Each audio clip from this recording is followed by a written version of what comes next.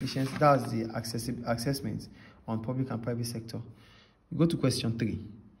It said, which one of the following is most likely to cause a shift in the left to the left of the supply curve?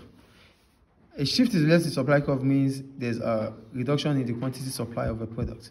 So increase increase indirect taxes will increase the cost of production and prices will not be able to be increased. Then it will shift the supply curve leftward. Cost reduction. Cost reduction will increase supply. Increased subsidy will reduce the cost of production, which will also increase supply, shift the supply curve to the right. Decreased advertisement. This will affect demand. So the answer is A. Question B. Which one of the following best describes an income elasticity of demand? Income of, of 2.6. First, what is income elasticity of demand? Income elasticity of demand is the degree of responsiveness between the quantity demanded of a product as a result of a change in the level of income. So here, inferior goods have negative uh, YED, so it is not A. Unitary demand changes, that, the unitary demand means that demand changes proportionally to income, and it's always 1. For luxury, it has a positive YED and it's greater than 1. So the answer is luxury. And for inelastic, it is less than 1. So the answer is C. So go to question C. They said, in this box, draw a production possibility frontier for a firm that can produce diaries and or calendars. On your PPF, draw what would happen if production of calendars increased. So look at a PPF, an increase in the production of calendar will reduce the production of diaries. Therefore, it means because there's always going to be an opportunity cost. So if we are increasing the, the production of calendars, it means we have to reduce the production of diaries. That's what the PPF is. And for a PPF, it's a graph which shows the combination of goods, like calendars and diaries, that can be produced in a given economy if all resources are fully employed. We go to question D. It said, each year the Turkish government raised the national monthly minimum wage. It increased from 2020 2020 lira in 2018 to 2,558 lira in 2019. First, what is mean why with reference to the data above and your knowledge of economics, analyze why the Turkish government might want to increase the minimum wage every year. So first, what is minimum wage? Minimum wage is the lowest wage that can be paid in a country such as Turkey. According to the case study, the Turkish government increased the minimum wage rate by 538 Libyan, uh, 538 Turkish lira because 2558 minus 220, 2020 will give us 538 between 2018 and 2019. This means this means the income of the lowest paid workers in Turkey will increase. Increasing the minimum wage means the living standards of low income earners in Turkey will also improve.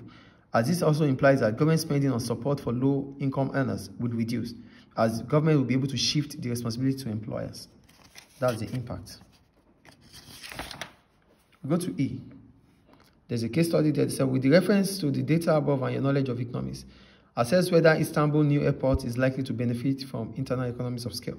First, what is internal economies of scale? Internal economies of scale is a reduction in the average cost of production as the firm is expanding like the airports. So examples of internal economies of scale are we have purchasing economies of scale, we have technical economies of scale, we have financial economies of scale, we have risk bearing, we have managerial economies of scale, and so on. For purchasing economies of scale, as the new airport will be handling around 200 million people based on the case study, it will need to buy seating for waiting areas in, in very large quantities, as this may bring about discount. That is purchasing economies of scale.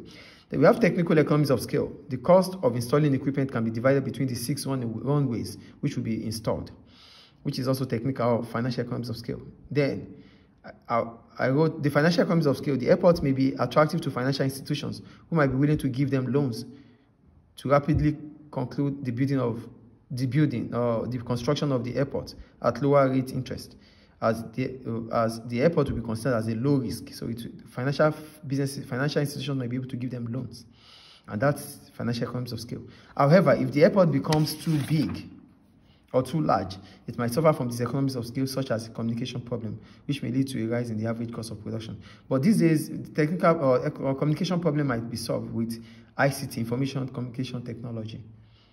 That ends question three. So go to question four. For question four, they said we have the financial data for a firm selling a selection of products which is shown.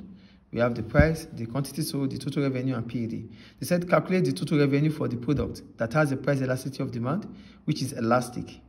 So for elastic, it means uh, there's a significant change in the quantity demand as a result of a change in price, and it should, be, it should be greater than 1. For inelastic, it means there's no significant change in the quantity demanded as a result of a change in price, and it should be less than 1. So here we have elastic to be less than, greater than 1 as 1.46. So the total revenue there is price multiplied by quantity sold. So TR for a PED with price elastic is $1,650 multiplied by 20, which is 33,000.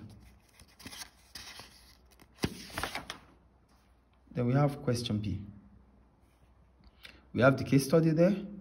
Um, we told to read. They said, with reference to the data above and your knowledge of economics, analyze how increased ability to move to different types of employment might affect supply of labor.